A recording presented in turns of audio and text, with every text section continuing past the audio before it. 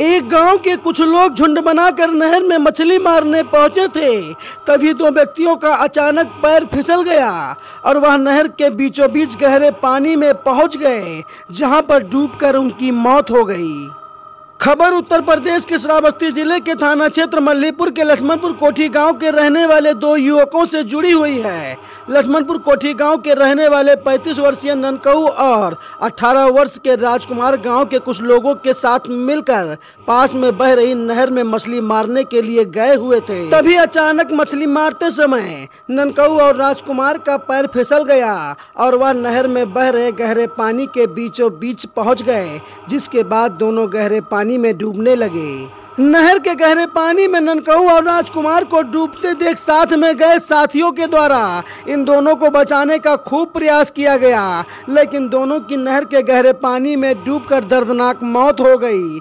जब ननकऊ और राजकुमार के परिवार को इस घटना की जानकारी मिली तो दोनों के परिवार में कोहराम मच गया। परिवार के लोग किसी तरह से नहर के पास पहुँचे, जिसके बाद परिजनों की सूचना पर पुलिस वहाँ पहुँची और पुलिस के द्वारा डूबे हुए दोनों व्यक्तियों के शव को कब्जे में लेकर पोस्टमार्टम के लिए भेज दिया गया।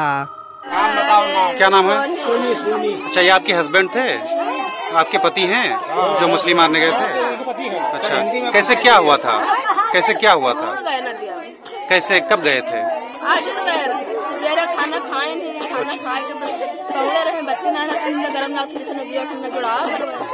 चले गए बस पाँच दस पाँच मिनट के बाद बस मस्त साइकिल की भूल गए।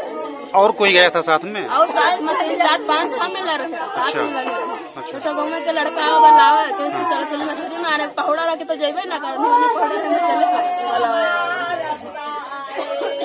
और पहले भी मछली मारने जाते थे? जाते जाते जाते जाते जात नहीं रहा।